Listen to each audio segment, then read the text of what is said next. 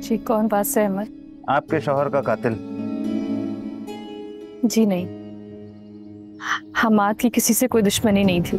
तो आपके ख्याल में वासे अहमद ने आपके शोहर को क्यों मारा? जी मैं नहीं जानती। मैं और हमाद उस शख्स को जानते भी नहीं थे।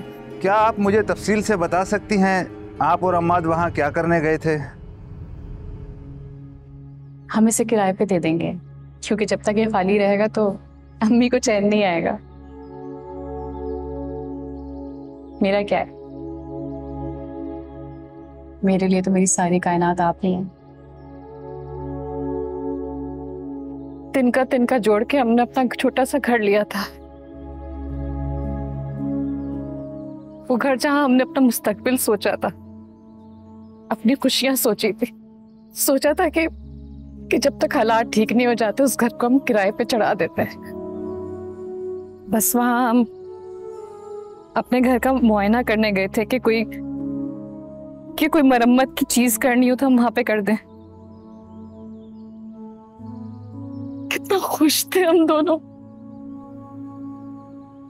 कितनी प्लानिंग कर रहे थे। बस बस अपने अपने घर से हम निकले कि कि अचानक गोलियाँ चलने लग गई। अभी हम अभी हम समझ ही नहीं पा रहे थे कि उसमें से एक गोली आके हम हाथ को लग गई।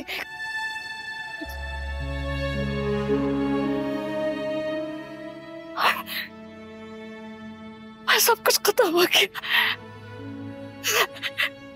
मतलब कि वासे अहमद आपके शौहर को मारने के इरादे से नहीं आया था। ये वाकया हादसाती तौर पे पेश आया। मैं नहीं जानती। मैं नहीं जानती कि वो आदमी वहाँ क्यों और किस लिए आया। मैं सिर्फ़ इतना जानती हूँ कि उसने मेरे सर पे से सायमान छीन लिया है। मैं सिर्फ़ इतना जानती हूँ कि उसने मेरी हस्ती बस्ती ज़िंदगी उजाड़ दी है। मुझसे मेरा घर छीन लिया मेरा शौहर छीन लिया है।